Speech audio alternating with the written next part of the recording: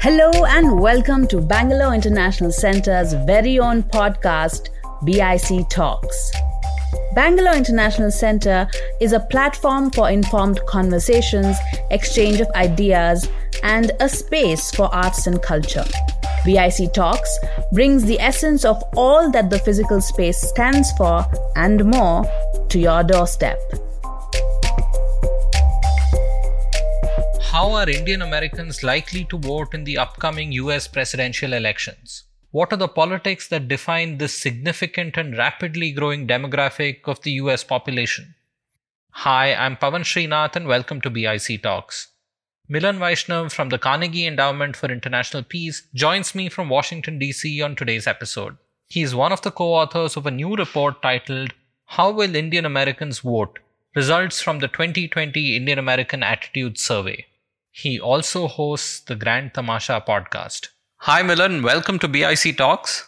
It's great to be with you, Pavan. Milan, it's almost two years ago today that we had spoken about Indian politics on the Pragati podcast. And it's an absolute delight to be able to talk to you about Indian American politics today with you. Pavan, I, I, remember that fondly. We were sitting in my cramped hotel room with your recording equipment, but we were at least in lovely fall weather Bangalore. So I apologize that we can't do that again today, but I'm excited at least to catch up with you uh, virtually. Certainly. And you have recently released a fascinating report, probably the first of its kind, which has been looking at how Indian Americans will vote in the upcoming presidential elections in the United States, what kind of political affiliations and leanings do they have, the issues that matter to them. And the fact that the report has come out, that you worked on it itself to me is an indicator that in more ways than one, Indian Americans have arrived in the United States in politics, in the economy, and in society, right? Do you feel the same? I do. You know, I think that there have been many very good studies done over the past 10 to 15 years on Asian Americans, of which Indian Americans are one distinct subgroup, but of course is a larger category that encompasses Chinese Americans, Vietnamese Americans, Pakistani Americans, Japanese Americans, and so on and so forth. But we really felt like it was time to delve in much more deeply into the Indian American community for a couple of reasons. You know, I think uh, some people may not know this, but Indian Americans are one of the most rapidly growing immigrant groups in the United States. Uh, they have doubled in size in each of the last four decades. So if you look at census data from 2018, there are about 4.2 million people of Indian origin living in the United States out of which about 2.6 million are, are US citizens. Now, of course, a smaller subset are actually eligible voters, about 1.9 million. So it is still uh, roughly less than 1% of all eligible voters. But like I said, we're seeing a lot of, of growth and not just in demographic numbers, but in terms of political influence. You know, one of the, the most stunning facts that I learned in this process is that during the presidential primary season, Indian Americans actually donated more money to various campaigns than Hollywood did. We are we are seeing not just an Indian American, partial Indian American in Kamala Harris uh, on the Democratic ticket, but we are seeing a prolifer- proliferation of Indian Americans working on the campaign, standing for you know local, state, and national office. So uh, I think it's quite right what you said at the beginning that it does feel like this community has finally arrived in mainstream U.S. politics. And Milan, even within pure demographics, aren't Indian Americans now the second largest migrant group in many parts of the United States? That's right. So, um, if you look at data from the past several years, uh, Indians are typically the second biggest. Sometimes China uh, squeezes out India, but it, it also depends on definitions if you include Hong Kong, Taiwan, and so on and so forth. But either the second or third biggest after Mexico. You know, in 2018, if you look at all newly minted US citizens, that is, those who are naturalized that year, 17% were born in Mexico and 7% in, in India, 5% each in, in China and the Philippines. And the recency of this growth is really stunning, right? So two thirds of all Indians who reside in America came to this country after the year 2000, right? Which is for someone like me whose parents came in the late 1960s, this is a kind of mind blowing statistic so even there you must see this right? I mean you are now a, a second generation migrant in that sense or a second generation indian american and you're seeing a large number of first generation indian americans many of them whom are naturalizing and becoming citizens after living and working in the united states right? So how do you see this? We can talk about this analytically but this must also be a lived experience for you growing up in the united states right Oh, I mean, there's no question. When when I was growing up in the 1980s, and I would go to school, and I would go to different social activities, sports. Right there, there were a smattering of of Indian American kids I would see, and now I look at my own kids, my own daughters, and who's in their schools and who's in their play groups and teams, and, and it looks it looks completely different. But the regional composition is also changing. And by regional, I mean region of India. So people like my parents who came in the 60s and 70s, you saw a lot of Punjabis, Gujaratis, Bengalis. Those were really the dominant subgroups of Indian Americans. That is changing as well. In fact, the fastest growing subgroups are Tamil and Telugu speakers, folks from Andhra Pradesh and Tamil Nadu. And, and part of that has been the big tech boom post uh, the year 2000 and in science, engineering, computer science, and so on and so forth. And so you're even seeing the kinds of languages, the signage, the food, the culture, right, is, is, is also changing from, from one that was dominated by certain groups and, and, and now showing more regional diversity here, before getting to how Indian Americans might vote in the upcoming elections, the kind of economic and political issues that matter to Indian Americans living across the length and breadth of the United States, I want to parse those two words, Indian and American, right? Because I think, one, there are many people who are still short term migrants to the US. People go to study, to work, they might aspire for a green card but are still Indian citizens who might come back home. But Indian Americans, including yourself, you're American first, right? And that I think poses a lot of cognitive dissonance for perhaps many people back home. So could you shed some light on that before we, you know, dive into the politics of Indian Americans?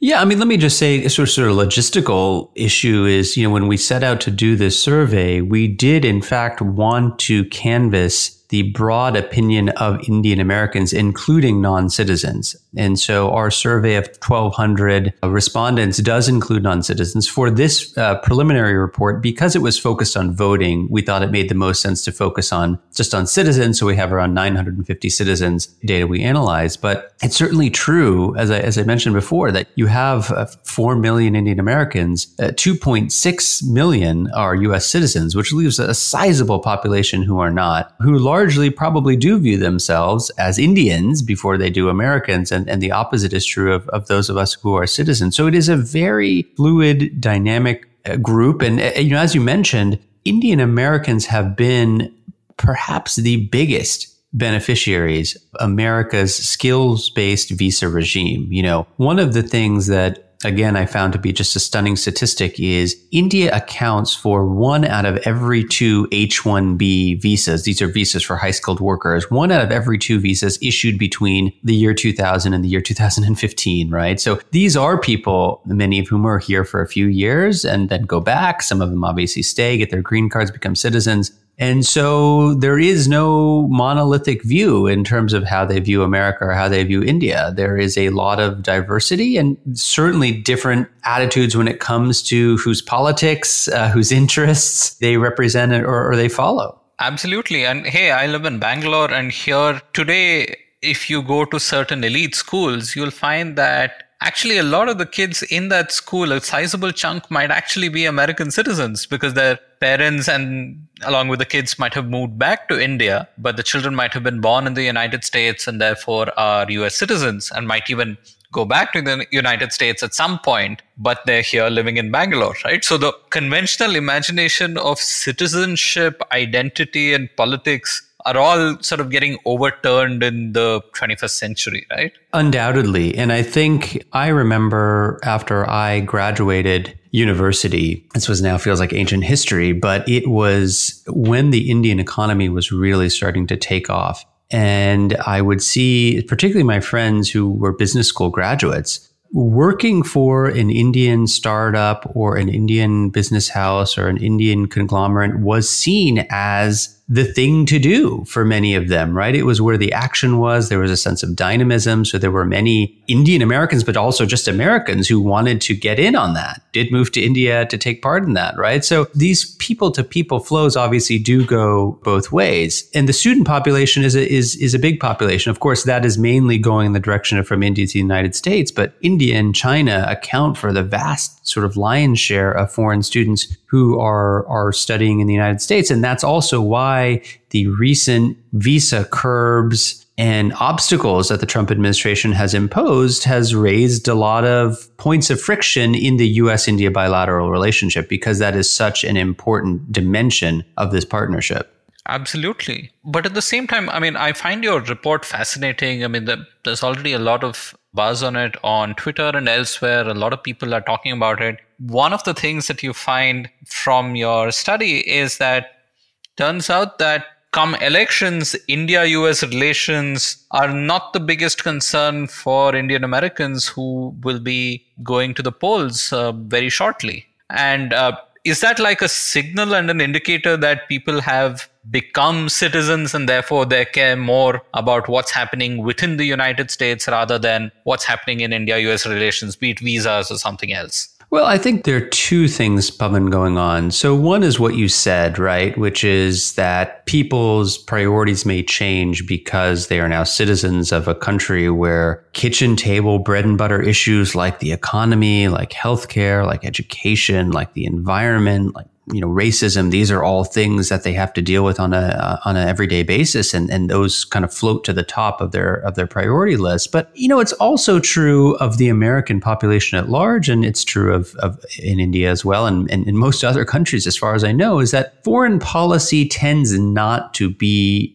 a major election time issue those are still seen as kind of elite issues as opposed to kind of mass issues that have to do with people's pocketbooks and people's daily lives and ability to put food on the table and educate their children and get them adequate health care and so on and so forth. So, you know, one of the revealing things to us is that, well, it, maybe it shouldn't be that surprising that Indian Americans basically behave like all other Americans, right? And that they, they sort of prioritize the most pressing matters, especially in a year like 2020, right? Where we are dealing in the United States with three simultaneous crises. We have an economic crisis, the likes of which we have not experienced since the Great Depression. We are dealing with a public health pandemic that shows no signs whatsoever of slowing down. We are recording today in mid October. We are having 60,000 plus cases of, COVID every day, a thousand deaths a day. And last but not least, a series of convulsions over issues of systemic racism, police violence, law enforcement, social justice. So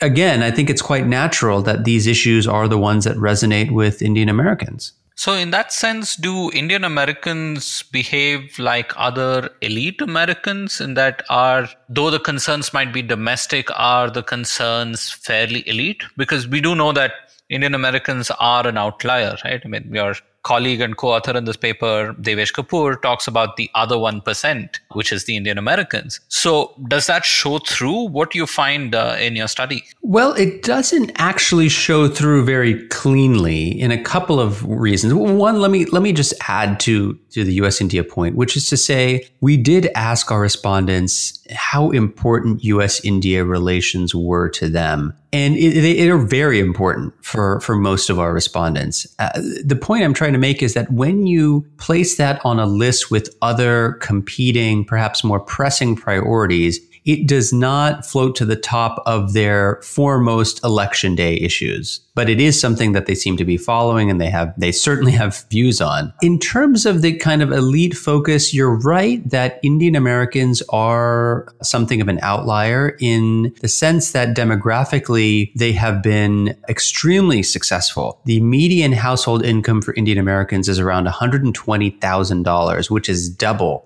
the national average. The same thing could be said of you know, median educational attainment. It's double the national average. The poverty rate for Indian Americans is around six and a half percent, uh, which is pretty small compared to the overall rate. However, I think that when you look at the political behavior of Indian Americans, they don't necessarily follow what their socioeconomic status would predict. You know, and I'll just give you a concrete example. Look at their partisan identity. One would think, given their high income, they would be more Republican because Republicans are the party that talk about uh, tax cuts, that talk about entrepreneurship, that talk about deregulation, that talk about things like tort reform more than Democrats do. However, there is a long standing close association between Indian Americans and the Democratic Party. Because if you look at the policy preferences of most Indian Americans on things like again, healthcare, education,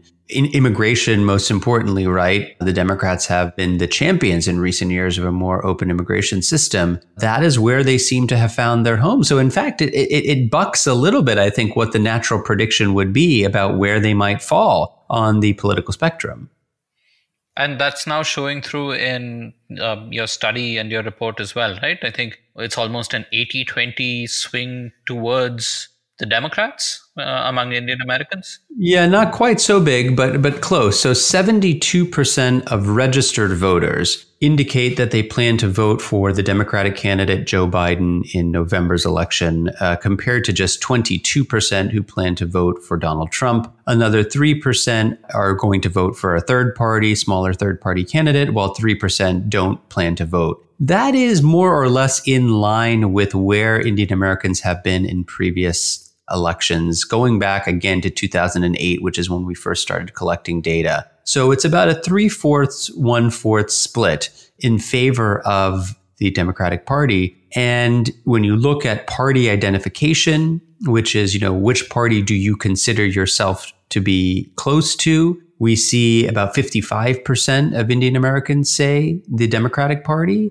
and just around 15 or 16% say the Republican Party. And there are a fair number of independents. So these are people who tend to vote more democratic, but they choose not to have an explicit partisan affiliation. You could also look at ideology. There is a kind of standard left right spectrum in the United States, going from extremely liberal to extremely conservative. Indian Americans do tend to skew left. So while you get about a third of them who say they're centrist, they're middle of the road moderates, they don't want to tilt to either side, there are many more uh, left of center on the liberal end of the spectrum than there are on the conservative end of the spectrum. Do you see any intergenerational differences in this? Like, are people who are naturalized citizens, do they have different preferences to people who are second generation who were born in the United States? Uh, that is a very good question, Pavan, and it's something that we we look at explicitly in the report. And I'm guessing that this might also feature in dinner table conversations in various households, right? I mean, I'm guessing that the two will mirror each other. Th- that's right. I think I would say two things here. It is certainly the case that both US born Indian American citizens, as well as naturalized citizens who were born in India or elsewhere, do still both lean Democratic. However, US born Indian citizens, Indian American citizens tend to be even more pro democratic and liberal than their fathers and mothers. So 64% of Indian Americans born in the United States identify with the Democratic Party compared to just 48% of naturalized citizens, slightly more likely to identify as either Republicans or independents. And also, interestingly, naturalized citizens are much more likely to say they don't have an opinion, they don't have formed political views, or they don't plan on voting. So, uh, you know, to sum up, I would say the overall the community is democratic, no matter how you slice it or dice it. But the intensity of those preferences certainly varies by generational status, and and this is a really important point that I think sometimes gets lost on on on people in India, including the government of India. there are about 150,000 Indian Americans who become newly eligible to vote every year. And that is going to be true for at least the next decade. Two thirds of that 150,000, so 100,000 are because uh, of US born uh, Indian Americans becoming uh, a voting age, turning 18. And 50,000 is because of the naturalization process. And so this is uh, likely going to result in a median Indian American voter who is turning more towards the Democratic Party. In other words, more blue rather than less. Okay, and, and you know this is fascinating because even within India, I mean, you study Indian politics quite closely. I mean, people who are migrants often prefer to go back home and vote, right? I mean, like uh, I live in Bangalore. We have a population now. It must be I don't know, 14 million, some absurd number like that. And uh, the large number of migrants who live here uh, across economic groups might still have their voter registration IDs from you know their native village or town or city. And some of it is explained by the friction and the pain that that goes into changing your you know voter id and all of that. But a lot of it also goes to where affiliations and natural political affiliations lie. So perhaps that explains at least some of the behavior and the preferences of uh, naturalized Indian Americans, right? I mean, they might have become American citizens, but they don't necessarily have strong political opinions or are interested in exercising their right to vote. I think that's right. Although I do think that it has been noticeably changing. You know, uh, again, just to speak from personal experience, I look at my parents' generation. These are people who were born and raised in India, who came to the United States for graduate school or for their first jobs, uh, by and large. And they did not have firm political beliefs. They did not, by, I'm speaking obviously in, in, huge generalities, have clear partisan affiliations. Uh, but that has changed over time. You know, I, I think there is a tendency in many immigrant communities in the first generation to really focus on assimilation, to focus on making it, on setting up your family, setting up your home, setting up your job, and trying to fit in, trying to perfect your English, making sure your kids do the same, and just not rocking the boat, right? And I think that once a community becomes consolidated, becomes large enough, becomes more self conscious, more comfortable, more part of the American fabric, we see them becoming more politically inclined, right? So if you think about Indian Americans as a whole, they are now sandwiched between African Americans and Hispanics in terms of the level of their support for the Democratic Party, which is a pretty amazing thing, right? We think of African Americans as eh, such a loyal voter base for the Democratic Party, and Indian Americans, frankly, are not that far far behind. And I think they are making their voices heard more loudly than ever. Again, in terms of serving as candidates, in terms of giving money, in terms of being mobilizers, and that's part of the reason why both Democrats and Republicans are so actively courting their their votes this year is because I do think there's a sense that while small, they do have an outsized kind of importance. And this is in part also because of the economic uh, well-being of Indian Americans, right? The um, like you said, the amount of money power they could bring to uh, influence elections is significant, and this is both as individuals and perhaps as uh, groups. I'm glad you raised that point about individuals and groups because it, it truly is both. In our survey, about 18%, so slightly less than one in five, uh, said that they had given to a political campaign this past year. But what we know is that, you know, increasingly we are seeing Indian American political action groups, both on the left and on the right, who are raising funds, who are sponsoring candidates. I, I, get emails every day in my inbox from these organizations who are who are trying to raise money either for Indian American candidates at every level of government or other candidates who they believe are going to be important uh, constituents for serving the cause of the Indian American community and US India relations. So I, I, do think that there is a recognition now by both parties of this fact. And that's, that's why you see the Trump campaign, for instance, making such a big play for Indian American votes, right? I mean, they are making targeted advertisements showing the president walking hand in hand with Prime Minister Modi on the stage at the Howdy Modi rally in Houston last September as an effort to try to, to make inroads. Now, our survey finds that, that those efforts have not been entirely successful. Uh, we don't see a widespread defection of Indian Americans away from the Democratic Party. And I think that's largely because, going back to the earlier point, Indian American policy attitudes line up pretty well with the progressive positions that most Democrats espouse.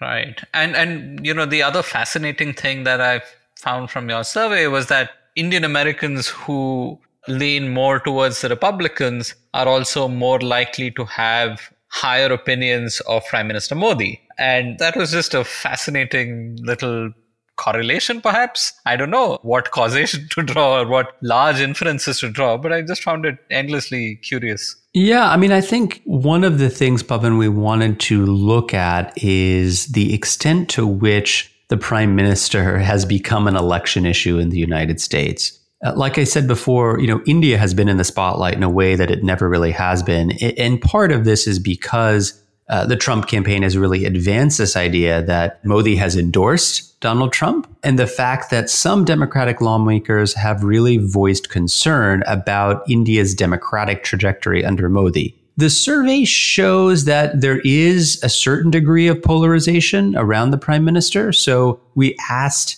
all of our respondents to place the prime minister on a scale of zero to 100 100 being most favorable and zero being least favorable. Uh, Trump voters give him an average rating of a 76, which is quite high. Biden voters, on the other hand, are at the opposite end of the spectrum. They give Mr. Modi a 52. Now, that is a 24 point difference between these two demographics. But do note that Biden voters still give Modi above a 50. In other words, they are not unfavorable towards him. They are still largely in that 50 to 100 range where they're more favorable than not. Secondly, when you look at the correlation between support for Modi and support for Trump, there is not a clean relationship in the following sense that it is true that if you are a supporter of Trump, you are much more likely to say that you are a supporter of Modi. However, if you disapprove of Trump, it is not the case that you are against Mr. Modi, right? So again, it, it, there, there, there's a kind of common saying in the United States that, well, if you love Trump, you love Modi. And if you hate Trump, you hate Modi. And, and, and that association we don't find to be the case.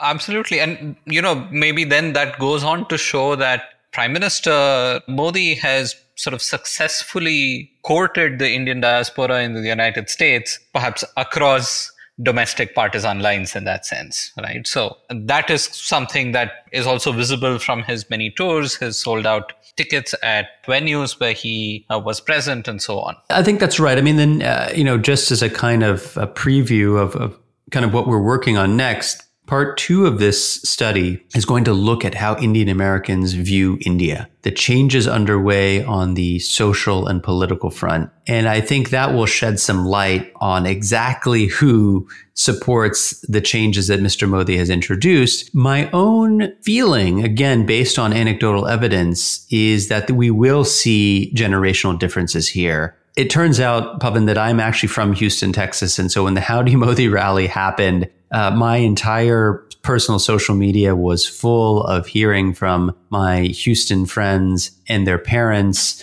And you could see right then and there a very divergent set of views where the older generation was excited, was sharing it, was first in line to get tickets and so on and so forth. And many of their children either were protesting out front or sharing information about the protests, right? So I do think, again, one of the hypotheses we're likely to see is that we will see some generational differences. And it's quite also possible that younger Indian Americans, particularly those born here, might just not be following very closely what's happening in, in India on a, on a day-to-day basis like their mothers and fathers are. Absolutely. And, and I'm really looking forward to the new findings that you'll be coming out with. And I want to go back to Indian Americans and how they are doing in the United States, right? I mean, over the last decade or so, we've seen rising inequality, rising healthcare costs. We've seen, you know, challenging and uneven growth, as well as, you know, the rise of a lot of racism linked violence, uh,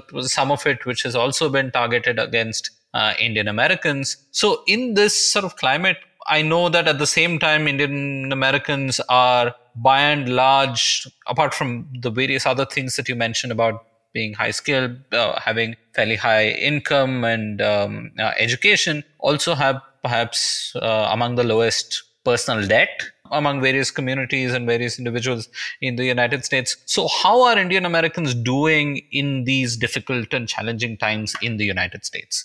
Pavan, it's a it's a really great question, and I would just commend to your listeners a new report that uh, my co-author Devesh Kapur and one of his students at SAIS, Jashan Bajwa, just put out, which is a poverty report of Indian Americans. Uh, this is available through an organization called Indiaspora, which is an association of, of, of Indian American members of the diaspora and you can find it on their website. Uh, it's the first time I've seen some of these numbers put together, and it's it's based on the 2018 American Community Survey, which is a survey operated by the U.S. Census. And and what that shows is that of those 4.2 million Indian Americans, that number I mentioned before, about 250,000 of them do live below the poverty line. And one of the things the authors of that report say uh, in their concluding comments is that based on their estimates, the COVID 19 pandemic could expand the ranks of poor Indian Americans by somewhere between 1.5 to 3.5%, particularly amongst those Indians who are employed in sectors that have been especially hard hit by the twin blows of the pandemic and economic recession. One of the books that touched me the most uh, this past 12 months is a memoir by the journalist Aarti Shahani, who is with a longtime reporter for National Public Radio.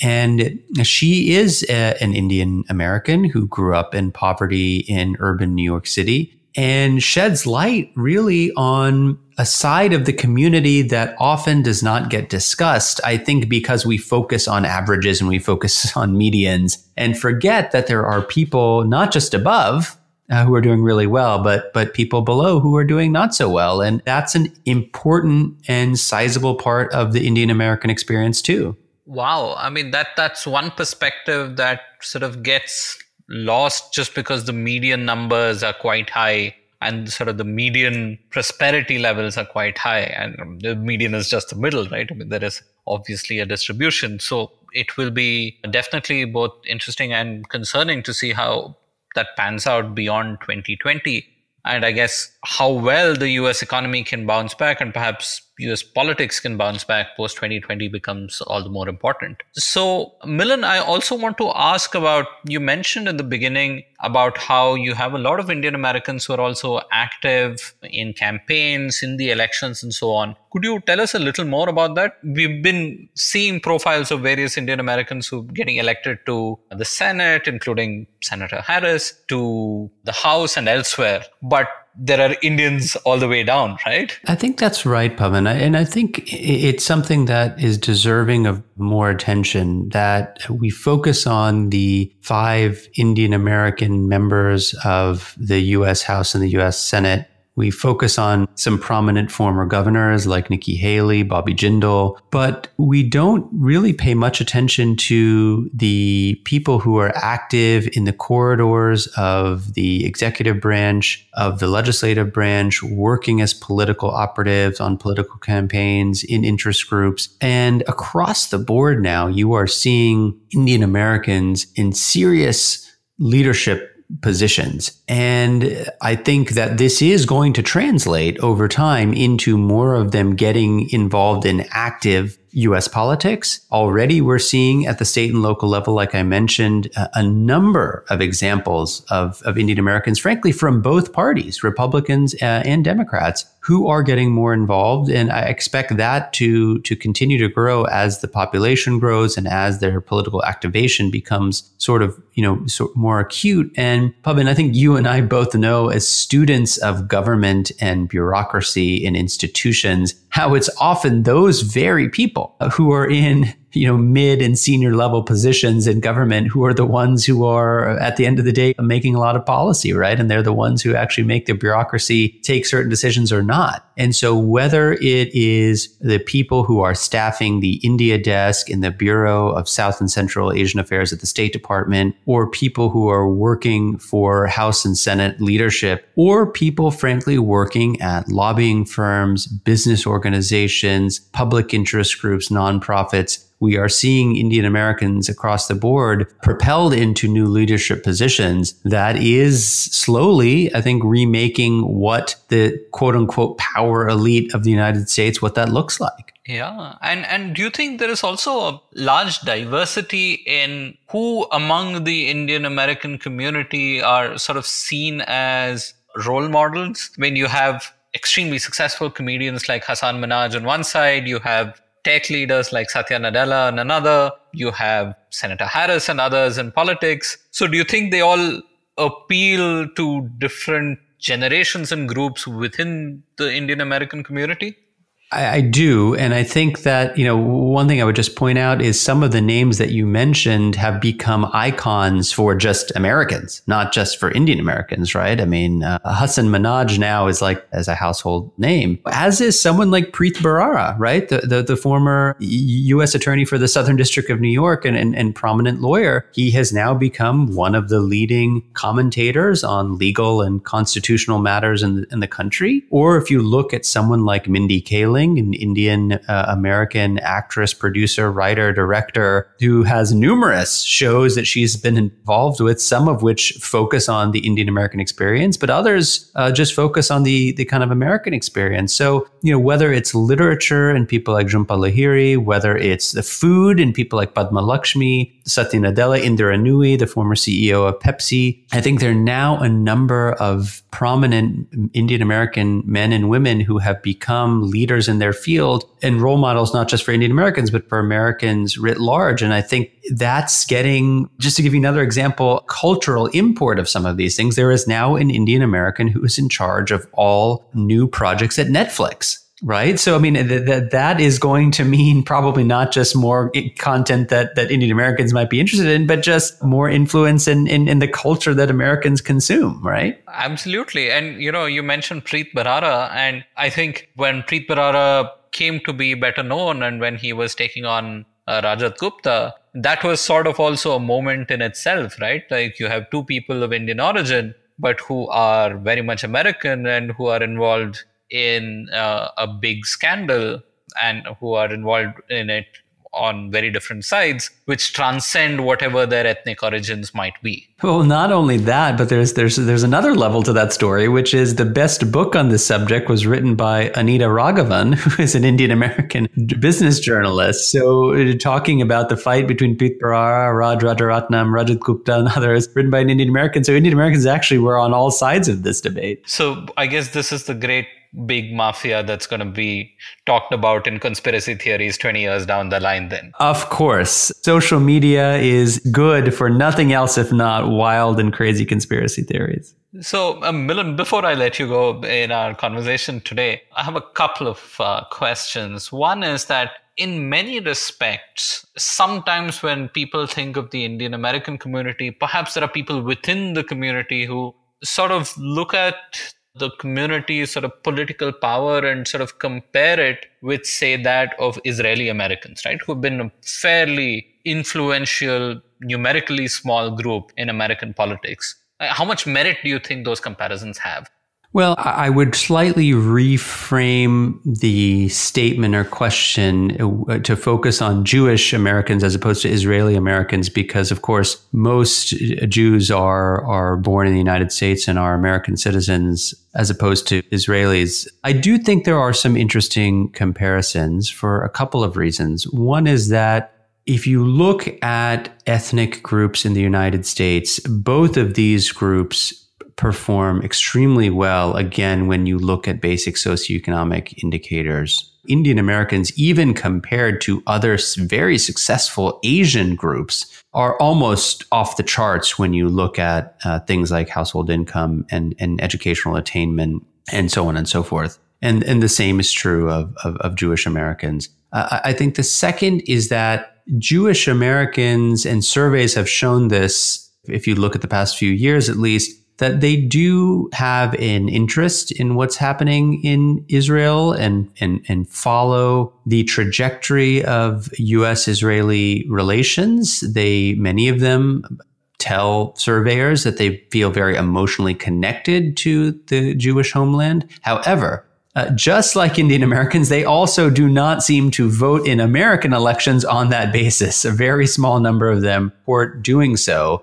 I do think there is a darker underbelly as well to the comparison, which is that Jewish Americans have long been persecuted and frankly been the victims of quite a lot of hate speech and innuendo because of this question of divided loyalties uh, are there are they first and foremost attached to Israel or the United States, even though they are U.S. citizens? And I think that sometimes you know one sees this in reference to the Indian American community as well. Is that okay? Well, your homeland is really India. That's where you're from, or your parents are from. So is that whose interest you're protecting, or is it American interests? And so I do think there's a negative side to to that comparison. But I frankly think it's something that we want to delve a little bit deeper into. And this is something that Devesh, my co-author Devesh Kapur has talked about is, is to really understand how these communities work. Now, of course, the Jewish American community is far more organized uh, and a much older community in the United States than, than Indian Americans. You know, I, I think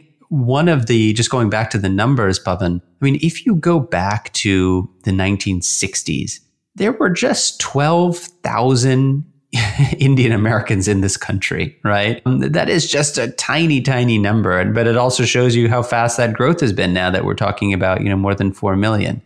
Absolutely. But do you think that this dark underbelly, this question of divided loyalties is something that might become louder over time, whether it's substantiated or not? I do think that it will become louder over time, um, particularly as the corridors of power continue to change demographically, and we see more Indian Americans in the spotlight, particularly holding foreign policy jobs where they ha- are in a position to influence U.S. positions abroad. Frankly, you already see it now. But I also think there's a criticism that often comes from the other side, frankly, which is from India, saying that, oh, so and so Indian American who holds this position is a betrayer to the Indian cause and, and, and they're only thinking about American interests. Well, fundamentally, they are Americans, right? And so perhaps it's natural. Yes, and they're holding American office. So, I mean, it's their duty to bat for those. Perhaps natural for them to do that. There are some people who have voiced concerns about the fact that what they do not want to happen is to have Indian Americans, in a sense, uh, become ghettoized into working on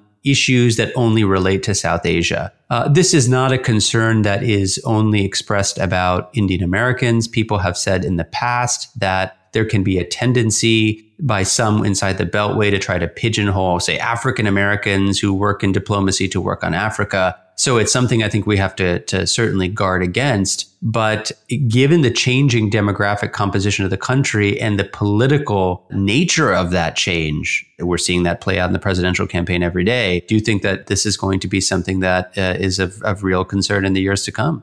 Thank you so much, Milan. And in conclusion, any parting thoughts? I mean, the upcoming presidential elections obviously are probably among the most important presidential elections that we are seeing in our lifetime, at least, right? If not up there in, as number two or number three. You know, there, there I was uh, speaking with somebody uh, uh, several weeks ago who said, you know, the thing about you Americans is you think every four years it's the most important election. But I, I genuinely do think, as a student of politics, that this does appear to be different, where there is a real possibility, Pavan, that we will not be able to term this election a free and fair election. And that is something that very few of us could have even contemplated five years ago, maybe even five months ago, that one does feel like the very character of American democracy is very much hanging in the balance and that we are at this dangerous